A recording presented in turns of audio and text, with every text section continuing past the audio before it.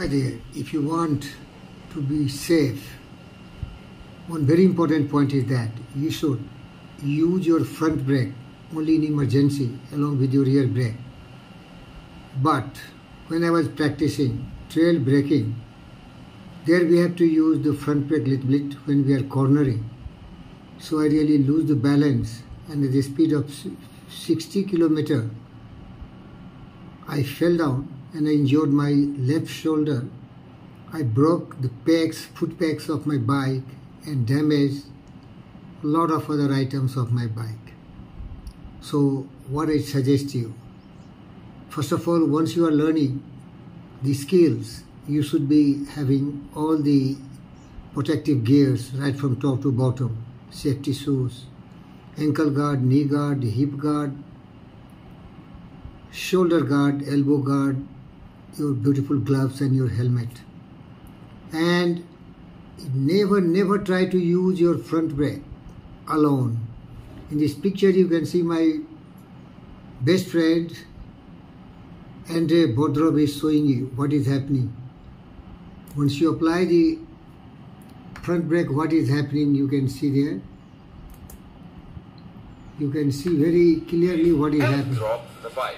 If you want, you can even try it yourself with this really simple exercise. You don't even need to You start see, he's the walking with the bike Walk your bike, and you apply the brake and you see and it apply the front brake. You'll immediately feel how your bike wants to tip over. You see. Just So dear friends, what I suggest you, front brake is very powerful because in ordinary bikes it will be a drum brake but some superior bikes it will be disc brake and much more superior power bikes, adventure riders, they use double front brakes with all these kind of modern techniques.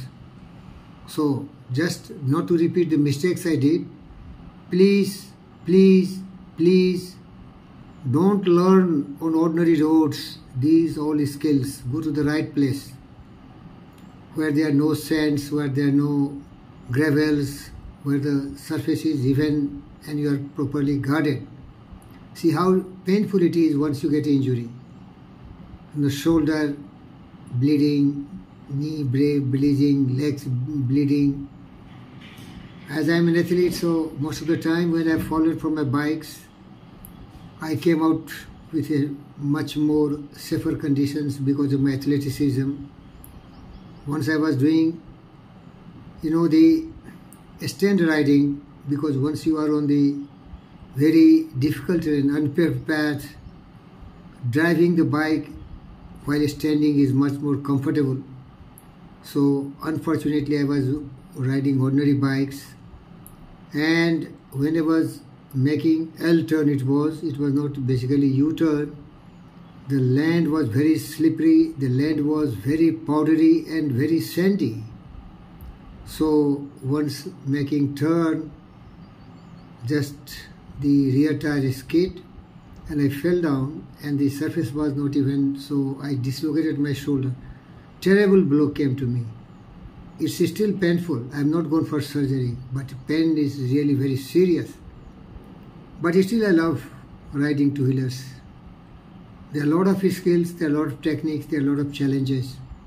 Another more dangerous point I tell you, when you are riding the bikes on the road and sometimes there are a lot of speed breakers, we in India try to go down and skip the speed breakers. They are 2, 3, 4 in numbers and we have to come down at a heavy braking and go to very low speed of something like 10 and then we don't like to do that so we come down from the main road and go to the dirt road.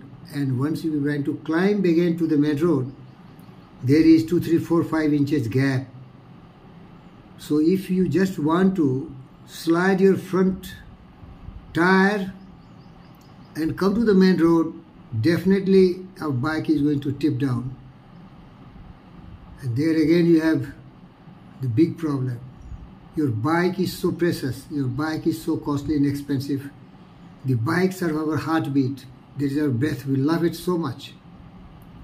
They love it so much. Bikes are just like our companion. We don't like it to be even scratched. And more than bikes the rider myself, we got scratches, we got injury. So please, my friends, be very careful, learn all these skills very smartly, and then only Be careful and don't drop. you ride. To be fair, we still can use the front brake if we are really careful, but we have to be much more gentle. Rear brake is just much easier to control at slow speed, which is why it's a better idea to use it. Even if we apply it too much, we'll get a little slide like this. And that's it. No big deal. You know,